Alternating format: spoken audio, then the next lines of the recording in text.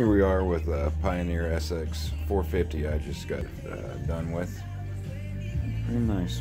Got the side panels right here that I'll add on later. Figured everybody want to see inside. This is a complete recap.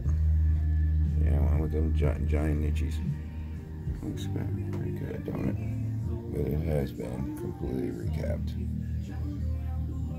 Every little one. You walk in the tuner section, phono and everything. Even got that little guy that's hides out underneath there.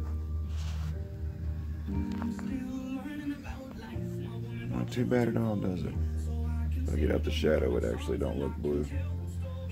Hey, thank y'all for watching. Took me a little while to knock it out. Working a little slow right now, guys, so give me time, please.